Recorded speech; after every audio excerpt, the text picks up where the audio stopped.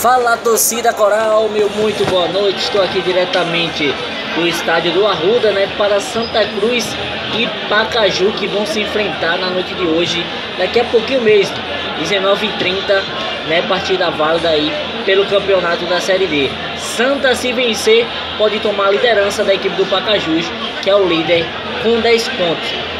A minha esquerda, a equipe do Pacajus, né, fazendo pré-crescimento, a minha direita, a equipe do Santa Cruz é, se preparando para começar daqui a pouquinho a partida. Então vamos escalar as equipes. Santa Cruz escalado com Michael 1, 2 Juan Rodrigues, 3 Ítalo Melo, 4 Guedes, meia dúzia para Marcos Vinícius, 5 Pingo, 17 Ítalo Henrique, 10 para Nadson, 7 Lucas Silva, 11 Emerson Galego, 9 Pipico, o capitão essa equipe do Felipe Conceição, escalado o tricolor do Arruda.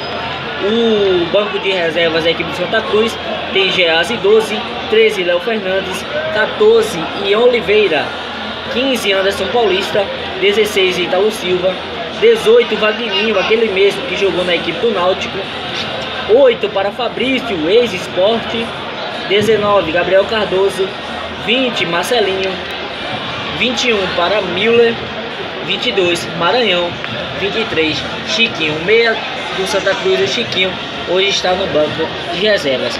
Vamos para a equipe do Pacajus, está escalada com 1 Jailson, 2 Rai, 3 Ramon, 4 Ailton Júnior, 5 Rogério, meia dúzia Guto, 7 Vinícius, 8 Diego Viana, 9 André Cassaco, 10 o Testinha, né? O apelido aí bem peculiar, o Testinha.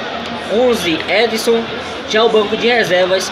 Tem o 12 Raí, 3 13 na verdade, desculpa, o Jefferson, 14 Bruno Cara, 15 Joilson, 16 William Anissete, olha, William Anissete, experiente jogador, está no banco de reservas hoje do Pacaju.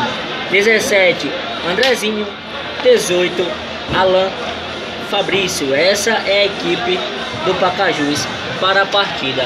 Então é isso, gente. A equipe do Santa Cruz está aqui fazendo os preparativos, né? A minha direita da equipe do Santa, essa torcida maravilhosa do Santa Cruz que se faz presente aqui no Arruda, que precisa vencer. Não só vencer, mas também convencer, porque o placar da equipe do Santa quando joga aqui no Arruda é sempre de 1 a 0. Então tem que acabar com isso de só vencer por 1 a 0, jogar e convencer a equipe do Felipe Conceição, que precisa mais do que tudo da vitória na noite de hoje. Que o Santa vencendo, encosta não, né? Pode tomar a liderança e aí ser o líder do grupo 4, que tem equipes no G4 como Souza, a, é, a, própria equipe do Ceará e o Pacajus, que é a líder do grupo, e o Santa vencendo, pode ter essa herança né, como o líder do grupo 4, que é importante. Quanto mais você vai vencendo, é importante de passar de fase para a equipe tricolor. Então, torcedor, qual a expectativa do jogo? A sua expectativa do placar?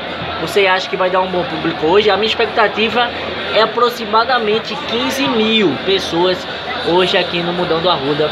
Ainda vai chegando as pessoas para assistir esse jogo, né, que vai acontecer entre Pernambuco e Ceará, isso mesmo, né, a equipe do Pacajus reside no Ceará. Então, torcedor tricolor, vai chegando aí, eu vou estar tá trazendo tudo da partida.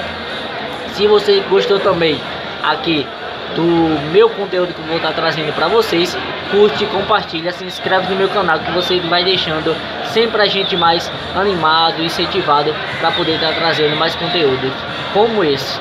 Daqui a pouquinho eu trago mais informações aí no Shots, junto com vocês a entrada da equipe coral. Um abraço a todos e até o próximo vídeo, assim se Deus permitir.